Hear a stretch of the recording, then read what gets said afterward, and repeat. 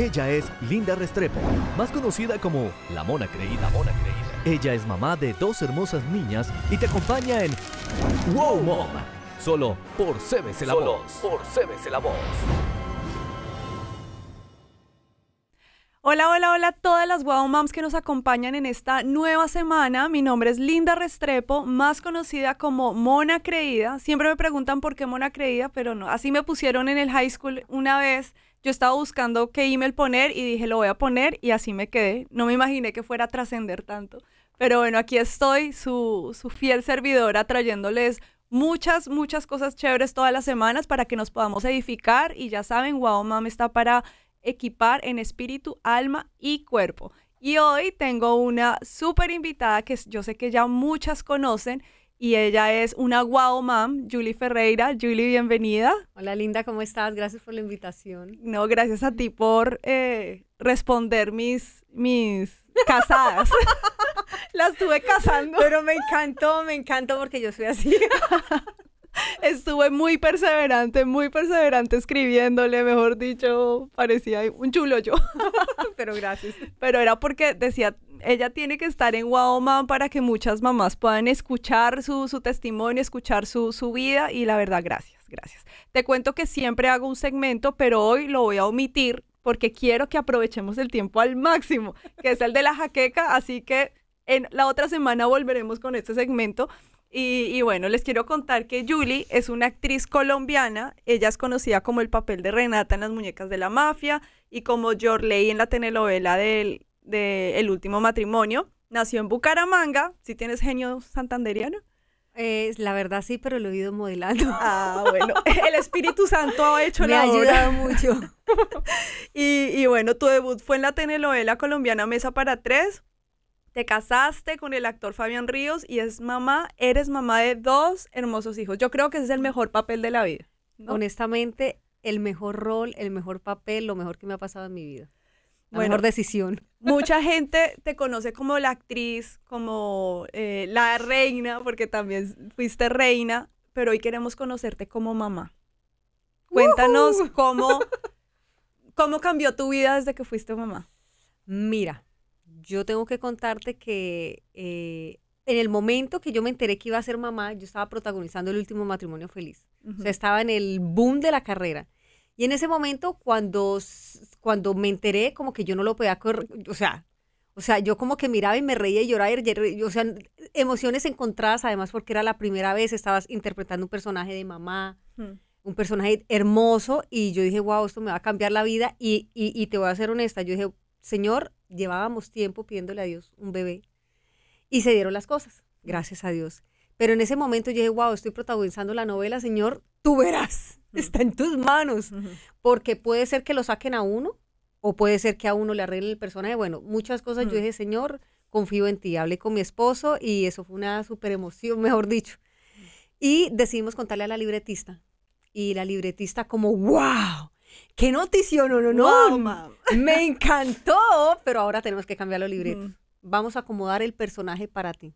Ay, Mira, Adriana, que, la libretista en ese entonces, o sea, yo dije, Señor, todo viene de tu mano, yo te doy las gracias. Y de ahí en adelante, pues, o sea, me cambió la vida para bien, o sea, crecí, bueno, uno viene aprendiendo, uno no, no llega aprendido para ser mamá, eh, pero fue la, o sea, la mejor experiencia vida, además, porque fue como un milagro, porque cuando habíamos ido al ginecólogo me decían como, no, tú llevas tiempo planificando, eso es difícil, no sé qué más, bla, bla. Igual yo estaba planificando mm. en ese momento. Entonces, como que fue, wow, qué sorpresa.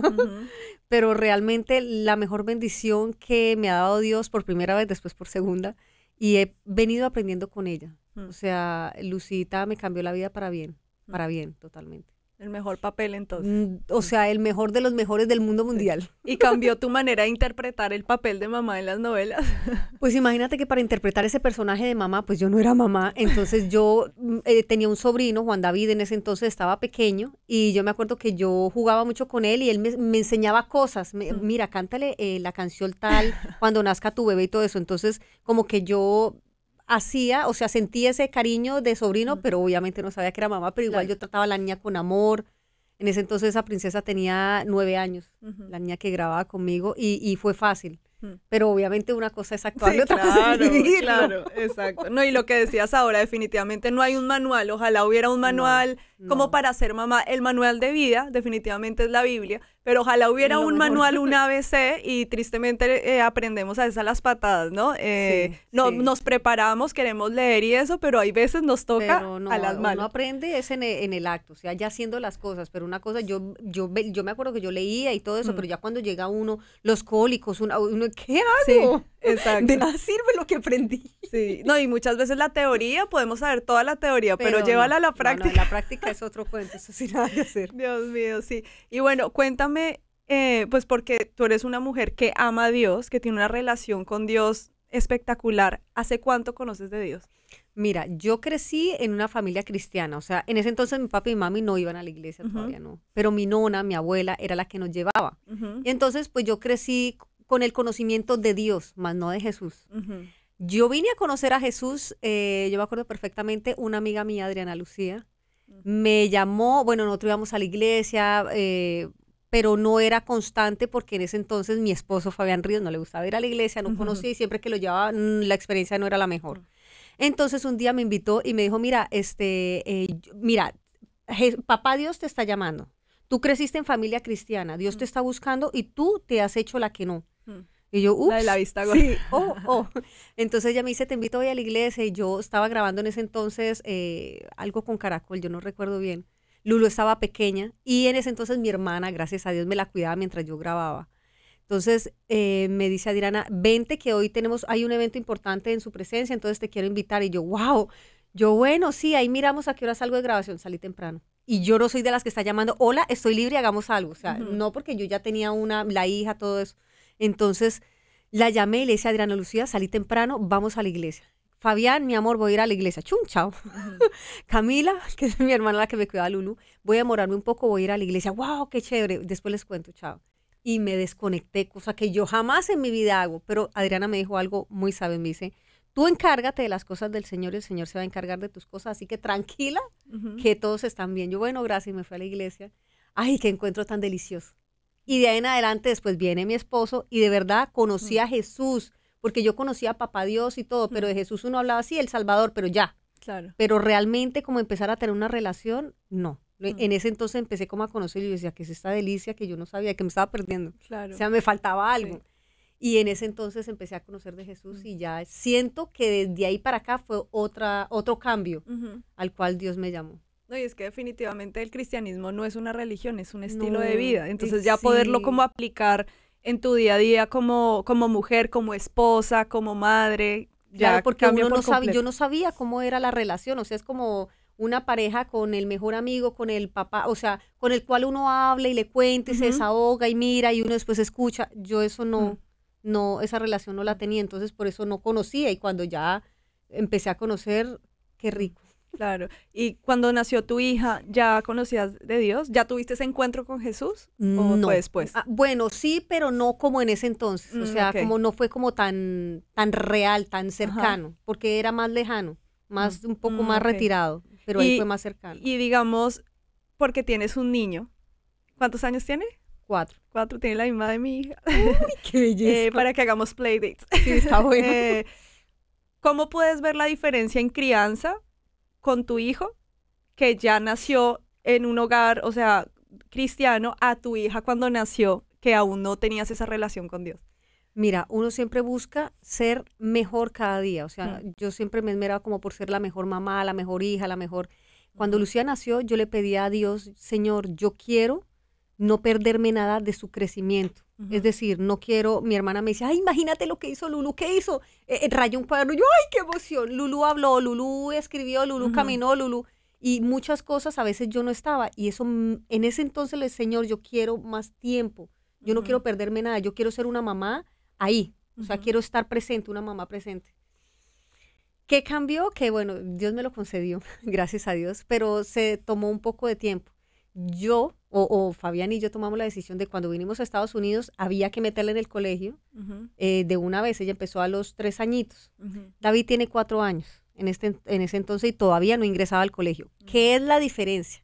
Que acá estamos papás eh, presentes en todo el momento, pero en la a manera de crianza está uno en el aprendizaje de querer ser mejor mamá, querer enseñarle las cosas, modelarle las cosas a la niña y está uno aprendiendo. Acá ya tiene uno las cosas más claras, con David ya está más claro, ya eh, en este momento ya estamos aprendiendo a hablarle con más claridad, a enseñarle y modelarle las cosas de Dios, pero más claras. Con Lulú no era tan claro. Entonces estamos como un aprendizaje y como que uno modelaba, pero vamos, vamos, aquí vamos.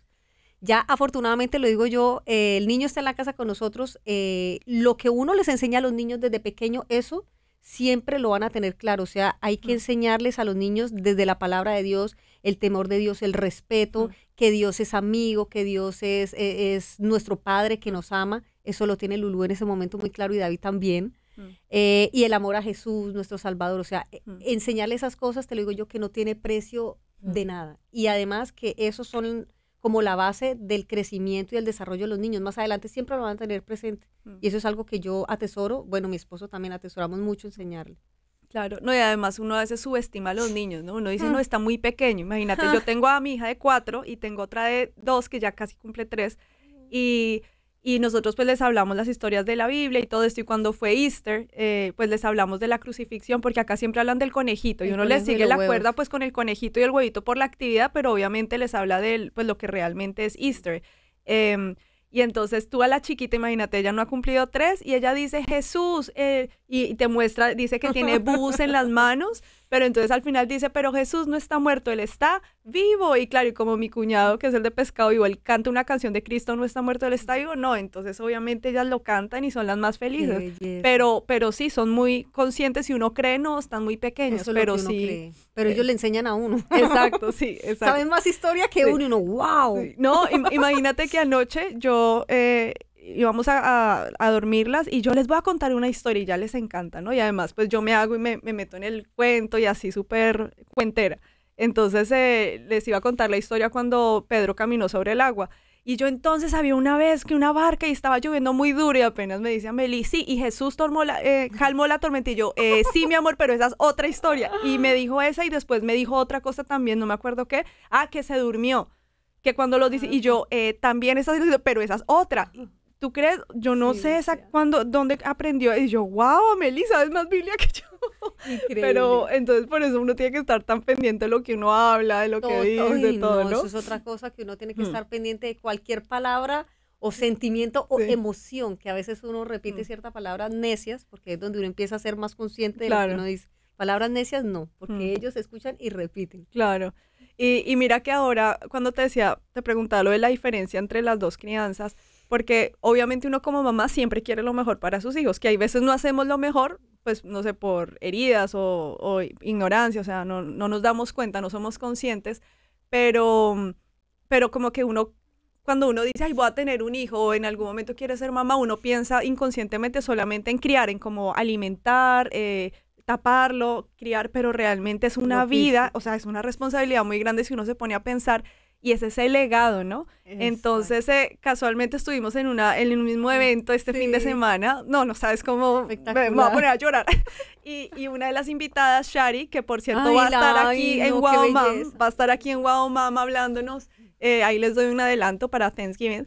Y, y me impactó tanto la hija, Daniela, como habló, una niña, o sea, para contextualizarlos, tiene una niña de 16 años y compartió un mensaje espectacular que yo lloré y me ministraba, pero porque yo decía, Dios mío, yo quiero, o sea, ya lo veo como mamá, yo quiero eso en mi hija, o sea, como entonces ya ver esa responsabilidad espiritual de ese legado, de, eh, por ejemplo, lo que decían, como que las nuevas generaciones ahora, ¿qué es lo que se dice? La generación de cristal, no, que corrompida, no, al contrario, porque en la eh, donde abunda el pecado, sobreabunda la gracia. gracia. Entonces, como que decir, Dios, yo quiero que uses a mis hijos para levantar.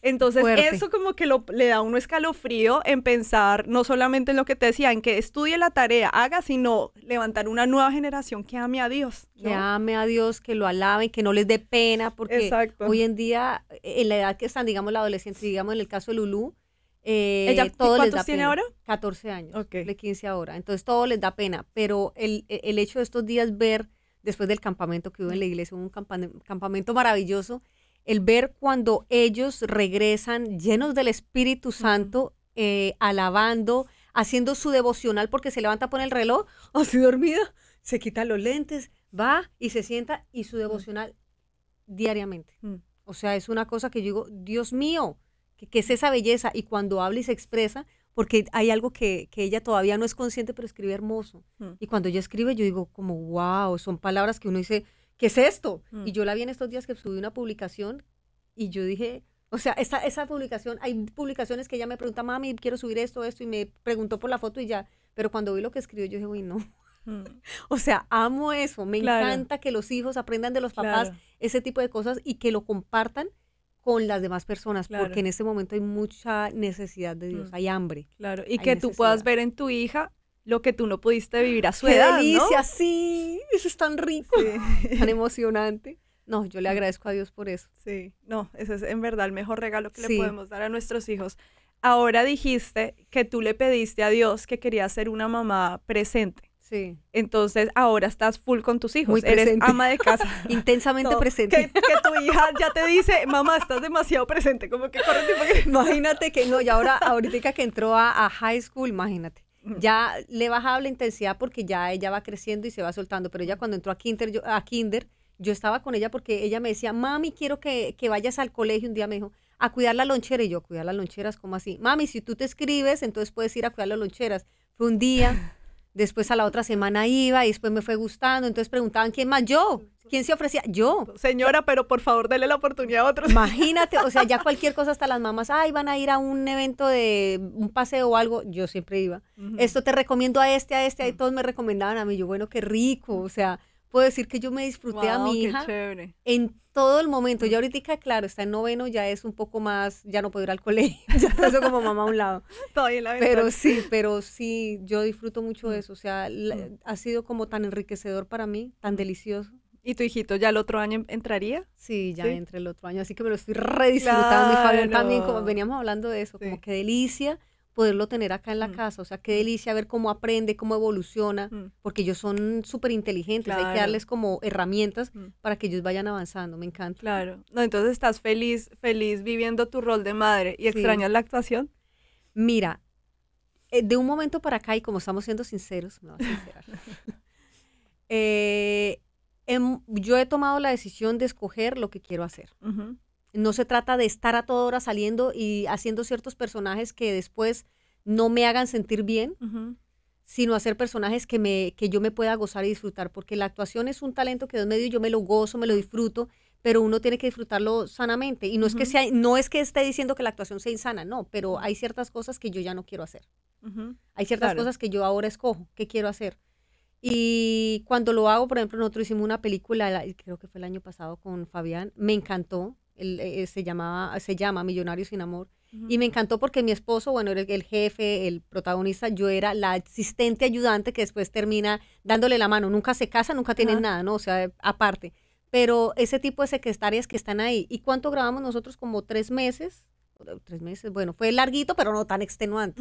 No eran horarios que tú entras a las siete y no sabes a qué hora sale, no. Entonces fue algo que disfrutamos que disfrutó él, bueno, porque él siempre estaba como constantemente, yo no tanto, mm. pero entonces yo tomé la decisión y le pedí a Dios, yo quiero un equilibrio, yo quiero trabajar, hacer lo que me gusta, pero también quiero estar en mi casa, pero también quiero cuidar de mi esposo, quiero cuidar de mis hijos, o sea, hacer labores que la gente piensa y dicen que ser mamá es lo peor, o sea, nada que ver, que hay que mm. trabajar, que ser un... Yo estoy de acuerdo, pero también el estar en la casa es una labor muy importante. Mm, o sea, es un trabajo. es un trabajo, trabajo. O sea, que las mamás que están en la casa saben que si no está uno de peluquero, está, o sea, de todo, de conductor, entonces uno es el chef, entonces, mejor dicho, todo, todo hace uno. Y para mí es una labor súper divertida, me gusta, me la gozo y por eso cuando empiezan a, echarle como, ay, es que las mamás no hacen nada de eso, yo digo como que no hacen, porque, porque no han sido Perdón, perdón. Discúlpame, pero perdóname, pero no es cierto. Venga a hacer esto por un minuto. Sí, no. Mi, esposo, él es muy presente, le doy gracias a Dios, porque él es de los que cambia el pañal, o sea, como que, porque las generaciones anteriores no eran tan así, ¿no? No se involucraban tanto. Y, y, no, y no quiero usar la palabra me ayuda, porque entonces ya llegan las, eh, como no, eso no ayuda, no es ayudar porque está cumpliendo su rol, sí, ya. O sea, pero me refiero a que, a que cumple su rol y todo. Y, y, y, obviamente pues yo estoy con ellas la mayoría del tiempo. Y por ejemplo el sábado pasado que estuvimos todo el día en este evento, yo, amor, te lo dejo, te las dejo, no sé qué. Y me dice, nena, ¿dónde te pongo la vela? Por favor, porque en serio no es fácil. O sea, y digamos yo que tengo dos niñas pequeñas, estamos en ese momento de dos, cuatro años, es bien fuerte. claro. Entonces como que uno termina... Entonces yo, entonces me dice, no, nena, definitivamente, o sea, como que Dios sabe cómo hace sus cosas, que yo estoy trabajando y tú estás en la casa. Digamos, en mi caso, yo soy eh, productora y editora, pues, de profesión, pero yo ahora estoy en un break. Yo digo, eventualmente, pues, me, me gustará volver a, a trabajar, de pronto a hacer freelance, pero yo estoy feliz, en serio, Qué en mi casa y con este Wow Man, mi ministerio, Sí, que es poder bendecir a, a tantas mamás. Claro que sí. Y, y, y bueno, pero entonces me dices que quieres tener como un balance. O sea que si ahora, digamos, si te viene alguna propuesta o algo, ya sería dependiendo de la propuesta. Sí, si te viniera. Sí, señor. Sí, sí, depende mucho. Sí, claro. Sí, ahora como también, digamos, eh, hay la posibilidad, uno hace las cosas desde la casa, por ejemplo, digamos, eh, estoy con los niños, Mm. hago sus loncheras. Mm.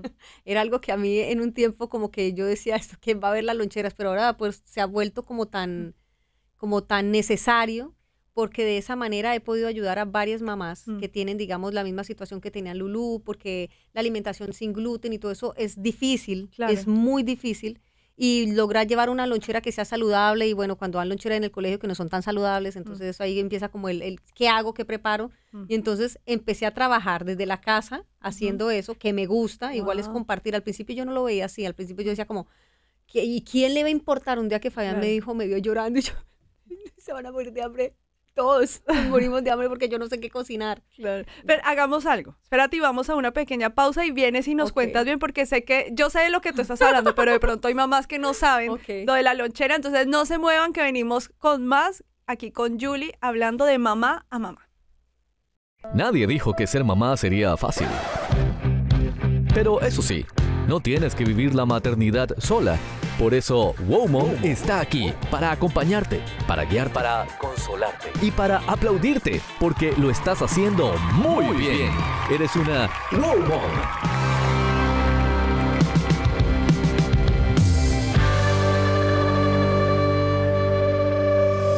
WOMO.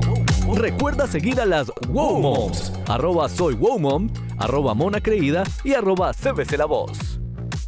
Hola Wow Moms, volvemos acá con Julie Ferreira. Nos falta el cafecito. Bueno, yo aquí lo tengo, a ti te falta el tuyo. agüita. Tienes agüita porque Agüita. esto, esto más que una entrevista es una conversación entre mamás, entre amigas. Nos estabas diciendo que tú tuviste como una lucha porque tu hija le detectaron una mm, alergia, ¿cierto? Sí. Eh, no, es, no es fácil, pero bueno, lo, lo voy a resumir. A ella en el 2015 le salió una alergia en el rostro, una alergia leve que yo pensé, como tenía una gripa fuerte, eh, yo pensé que era producto de la gripa y estuvimos así el fin de, el, como dos días, cuando vi que la, el broto creció y aumentó ya más para el cuello, ya para el cuerpo. Fuimos a donde el doctor, el doctor dice, no, eso es una alergia, eh, puede ser una alergia por la gripa, entonces esperemos una semana. A la semana volvimos. Buenas, doctor, eh, la niña sigue brotada. Mm. Entonces le, le habían mandado un Benadryl por unos días, después se lo aumentaron. Pero ¿qué pasa ahí? Entonces yo tenía que ir al colegio, por eso era tan intensa, a mirar porque me decían, ay, que la niña se siente mal, que la niña tiene la cara brotada, que tiene las orejas rojas, entonces corro al colegio a darle el jarabe. Mm. Pasó el tiempo y le hicieron examen de alergia y le salió una pequeña alergia a la leche.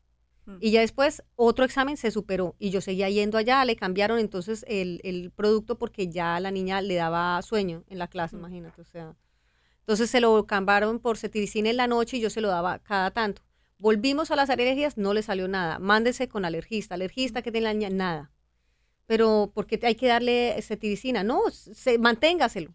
Dos años así, yo me puse a hacer las cuentas estos días, dos años así y yo buscaba, yo decía, pero tiene que haber algo que le produzca la alergia, o sea, Claro. ¿qué es? Sí, porque no, es solo echarle la crema para que se le vaya, sino porque le está saliendo. Sí, todo yo no entendía, o sea, entonces vamos con el que, que yo me dicen, no, pues investigue, aunque ya no tiene nada de alergias, investigue, pero el, el examen de sangre, no podían hacerle el de la piel porque no pasaba un día en que no pudiera darle la cetiricina, se brotaba peor, o sea, tenía que pasar cinco días, nunca se pudo hacer. Y yo desesperada, entonces buscaba, quítele el, glu- el gluten, no, me decían, quítele el maní, pues maní comía poco, quítele tal cosa y lo hacía y seguía igual. Mm. Llegué a, a Bucaramanga con un alergista y ese fue el único que me dijo, sí, ella tiene urticaria. Y yo, ay, por fin alguien me dice algo para Mm. empezar a actuar. Urticaria. Eh, señor, ¿qué lo puede producir? Por favor, doctor. El doctor me dice una o mil cosas. Y yo, bueno, y, y ahí, co- o sea, eh, ¿qué hago? Me dice, y el señor, yo me acuerdo porque ayer me dijo, mi hermana me estaba, Lulú fue la que me recordó. ¿Te acuerdas del doctor que te regañó?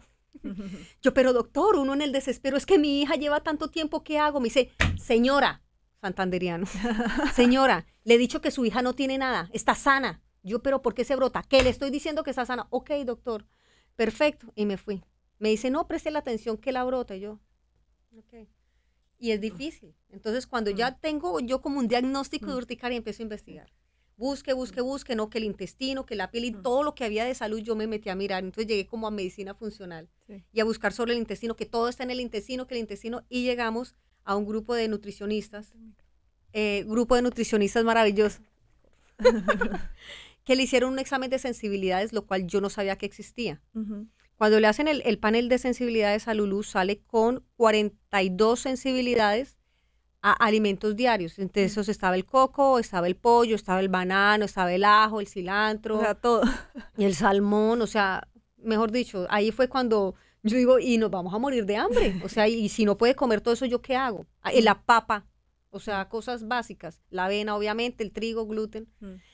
Entonces, eh, lo primero que hay que hacer, lo primero que me dijeron fue saque el gluten, trigo, cebada, centeno de la alimentación. Olvídese de los panes galletas. Yo, yo no era de comer pan todo el día, pero sí los domingos. Mm. Galleta muy de vez en cuando, pero era la lonchera que uno le llevaba a la niña. La avena, yo hacía avena al desayuno, almuerzo, a la comida, avena en jugo, avena en co- en cupcakes, avena en... Para mí era todo. Entonces ahí fue cuando digo, me voy a morir de hambre. Wow.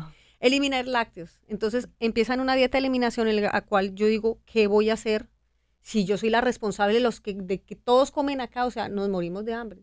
Y, Y tú en- lo eliminaste a todos también. Ah, bueno, eso es algo muy importante porque si ella tiene que eliminarlo, nosotros como familia tenemos que apoyarla, Mm. o sea, un equipo, porque no sería muy agradable que la nena no esté comiendo, digamos, algo de avena y yo, ah, un coque de avena o una, no. La torta de O sea, chocolate. de, de avena o no, o sea, no. Entonces, mi esposo Fabián me dijo, no mami, vamos a trabajar en equipo, no te preocupes, Mm. vamos todos en esto. Y yo, bueno, Se- va a sacrificar. a raíz de qué, qué sacrificio, pero mira, O sea, que ninguno está comiendo pollo. en ¿Y ese salmón? entonces no. Ah, ok. En ese entonces no. Mm. Entonces, en ese entonces, alimentación para todos, cero gluten, entonces empezar a, a- a trabajar con tubérculos y todo eso. Y un día Fabián me vio como frustrada, llorando. Y yo, es que sin queso, ¿cómo voy a hacer un pan de yuca? Entonces, bueno, la opción es un queso de búfala que era insípido. Y yo, no. Entonces lo hice y quedó bien. O sea, la primera vez quedó, se derritió tanto que quedó como un, un pan. Ujú. O sea, una plasta así. ya después me quedaron mejor y me dice Fabián, ¿por qué no lo postea? Y yo, ¿qué voy a postear eso? Me dice, sube esa receta que de pronto a alguien le interese. Yo, ¿pero a quién le va a interesar, Fabián? A nadie. Mm. Me dice, hágalo. Y yo, Mm. ok, en obediencia voy a subirlo. O sea, de pronto, miren el pan, pan de yuca. Y la gente, ¿cómo lo hizo? Y yo, pues subamos la receta. Entonces empecé así y empecé a compartir como el avance de la lonchera de Lulú, de lo que iba mejorando, porque habían ciertas cosas que podía, ciertas que no. Mm. Entonces empecé como a meterme más en el tema Mm. porque yo necesitaba saber qué le estaba pasando. O sea, qué le estaba produciendo eso, por qué, Mm. qué teníamos que cambiar. Después de hacer un examen de, de- de alergias, hay un examen genético donde sale si va a ser, eh, si tiene, digamos, una alergia al gluten o a la celiaquía y le sale una probabilidad. Mm. Y eso siempre viene del papá o de la mamá. Y pues adivinen Mm. de quién, de mí. Mm. Porque cuando yo cambié la alimentación se me fueron las migrañas, se me bajó la inflamación. O sea, una cosa increíble. Mm. Y ahí, en medio de tanto caos, yo dije, Señor, gracias, porque fui mejorando mi salud sin saberlo. O sea, co- cosas que uno se ve como obligado, como. "Ah, esto es debido a muerte, o sea, toca hacerlo. Y aprendimos a manejar un estilo de vida en el cual se va uno más por lo natural, no tanto lo elaborado, sino más por lo que Dios hizo naturalmente que por lo que hace el hombre. O sea, hay cosas que a veces yo digo, hay ciertos elaborados que son buenos, pero si lo hace Dios, como el huevo completo, que en un tiempo decían, ay, no, es que el huevo, el colesterol, que enfermo, no, el huevo lo hizo Dios completo y es perfecto, Mm. a otro producto que hace el hombre. O sea, si lo hace Dios, perfecto. Si Mm. lo hace el hombre, dúdelo un poco e investigue Sí. de dónde viene su procedencia. Y ahí empezaron a nacer las loncheras de Lulú y yo empecé como a compartir estilo de vida y hay mucha gente que me escribe que pasaron por la misma circunstancia Wow. Lulú, alergias, sensibilidades.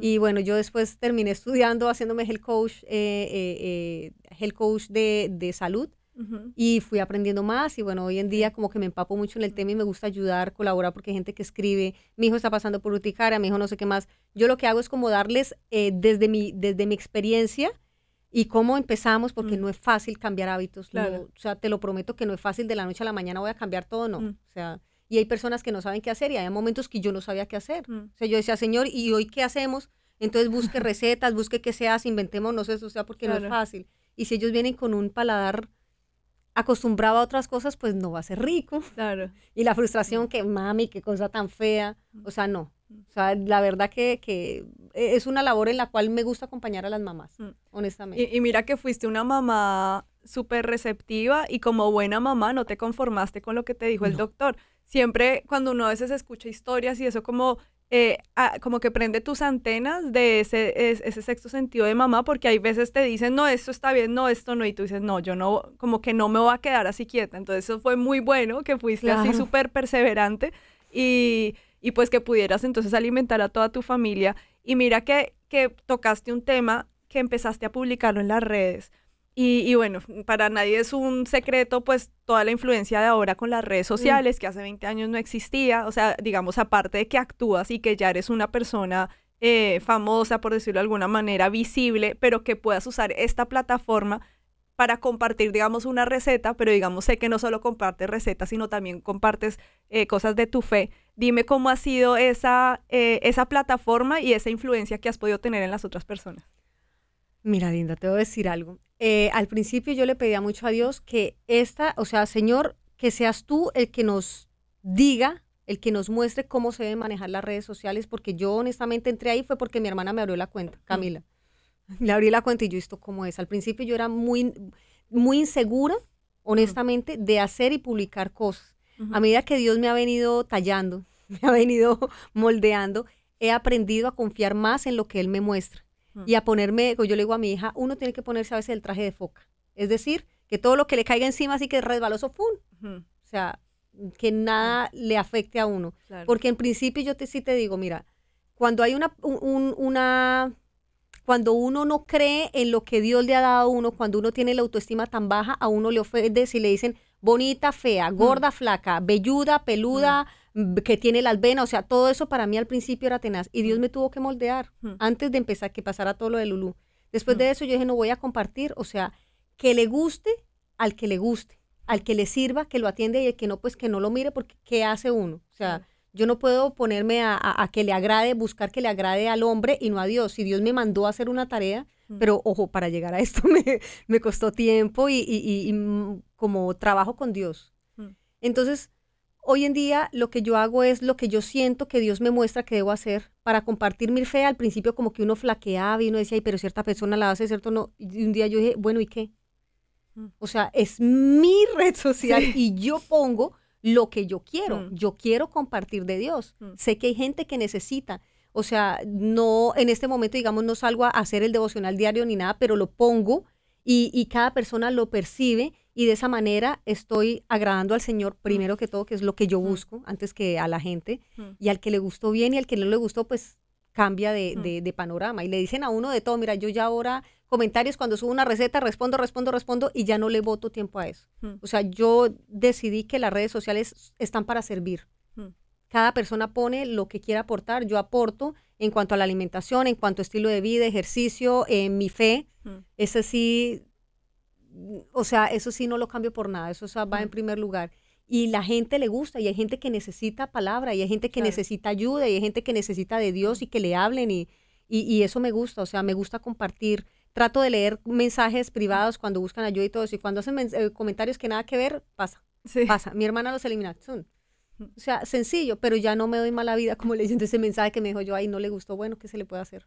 Si, si, si el propio Jesús no le gustó a la gente, si al propio Jesús le ponían peros, o sea, ¿por qué no le van a poner peros a uno? Entonces, relax, traje de foca. No, y, eso, es, eso es difícil porque en las redes hay mucho hate. O sea, tú pones rojo porque rojo, amarillo porque amarillo, verde. O sea, y nunca, uno nunca va a tener feliz a la gente. Entonces, pues obviamente uno dice, pues no, no, no te voy a querer agradar a ti.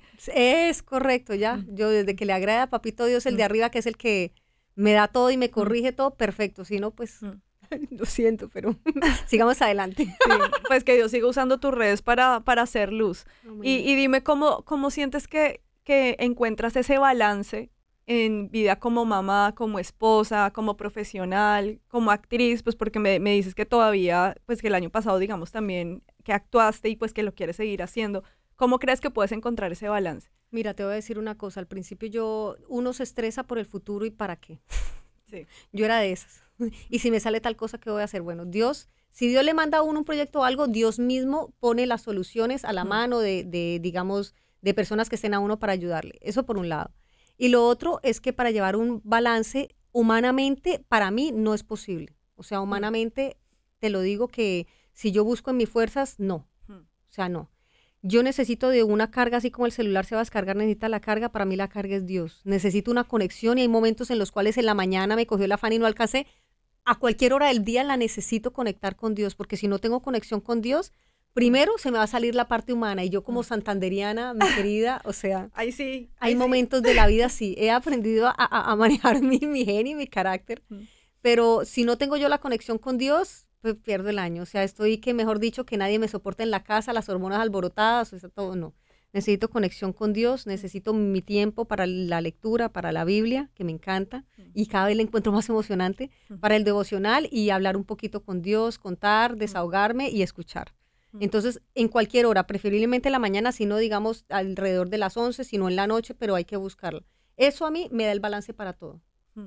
Y he aprendido a que en Dios de verdad deposita uno las cargas y, y- y Dios le ayuda a manejar a uno el tiempo, Mm. Dios le ayuda a, a- a que todo funcione en el día como debe ser. Cuando no lo hago, mira, lo- me ha pasado que se levanta uno corriendo, haciendo y, y hace y hace y hace y hace y hace y no pasa nada. Mm.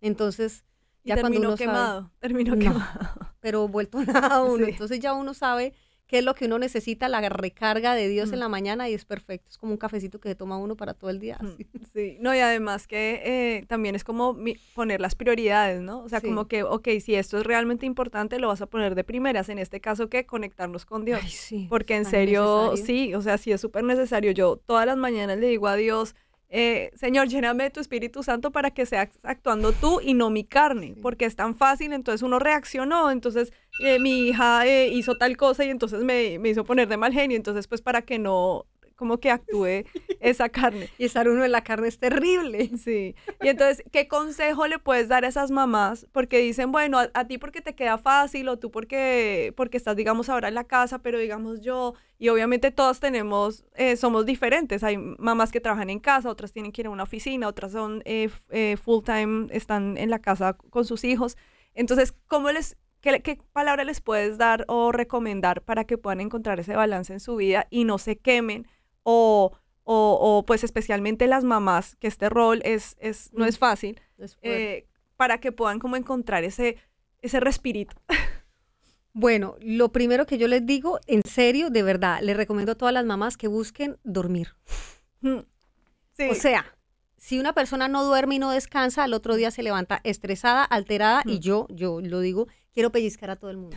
No quiero estar, Mm. se me sale el genio. Entonces, primero busque descansar. O sea, duermo solamente cuatro horas, duermo solamente tres horas. O sea, el Mm. tiempo que usted decida y destine para dormir, que sea descanso, en primer lugar. Al otro día, el organizar, el tener como un cronograma, aunque suene aburridor, no, no, es muy importante apuntar lo que uno tiene que hacer durante el día. Y, por ejemplo, yo tengo que hacer la lonchera, yo me levanto a cierta hora antes eh, para poder organizarla, porque antes me tomaba tiempo, eso era una eternidad porque no tenía el, el hilo. Entonces, en ocasiones lo que yo hago es, me levanto directamente a la cocina y me levanto minutos antes o cuando quiero hacer el devocional muy temprano, que ahora con, David es muy difícil tan temprano, sino que me toca correrlo. Entonces, levantar, el- poner el reloj unos minutos antes, eso se lucía, eso lo aprendió ella. Entonces, ahora se levanta más temprano, se hace el devocional y de ahí en adelante se organizan las cosas. ¿Por qué? Porque a Dios le encanta el orden. Dios es un Dios de orden, de organización. Entonces, si nosotros queremos agradarle al Señor, necesitamos organizar el tiempo. A veces uno dice, no, es que no tengo tiempo. de verdad que te lo digo yo, yo era de eso. Mm.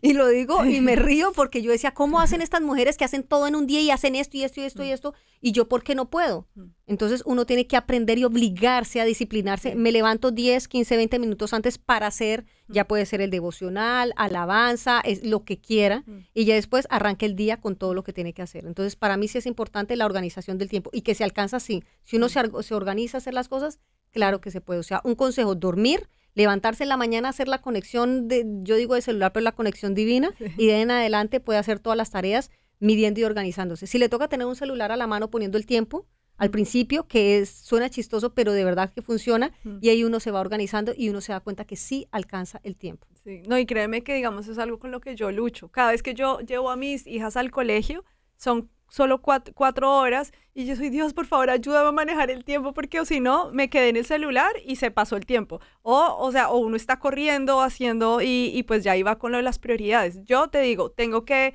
me esfuerzo diariamente, o sea, porque no, no voy a decir que soy la mejor manejándolo, pero me esfuerzo, o sea, como que Dios sabe, Dios sabe, para irme a acostar temprano no sabes la lucha, yo soy Dios mío, ayúdame a acostarme temprano, por favor, medianoche es mi ida a dormir, pero trato que sea a las 11, o sea, mejor dicho, pero bueno, sabemos que todas damos lo mejor de nosotras. Julie, muchas gracias por haber estado con, nosotras acá con todas las Wow Moms, nos encantaría que estuviéramos más tiempo hablando, pero, pero gracias, gracias por haber sacado de tu tiempo para venir acá. A ti. No, no, no, gracias. Y te bendigo esta labor y este, o sea, este lugar tan maravilloso y esto que tú estás haciendo, de verdad que te lo admiro y te bendigo y bendigo todo lo que tú haces porque de esta manera tú le puedes ayudar a muchas mamás porque muchas mamás piensan que su labor no es importante. Y la verdad que yo bendigo a cada mamá mm. porque es una labor que nos puso Dios y es mm. nuestra responsabilidad para después entregarle cuentas a Dios de que hicimos nuestro trabajo como debía ser. Claro que sí. Gracias, gracias, gracias por ser esa wow mom y gracias a ustedes por haber estado acá con nosotros compartiendo este, este cafecito que Julie no tuvo. Una botellita. Pero estuvimos acá hablando entre amigas. Y bueno, como siempre termino, recuerda que tú eres la mejor mamá que tu hijo pudo tener. Nos vemos en la próxima y mil bendiciones. Chao. Wow Mom. Recuerda seguir a las Wow Moms. Arroba soy Wow Mom, arroba Mona Creída y arroba CBC La Voz.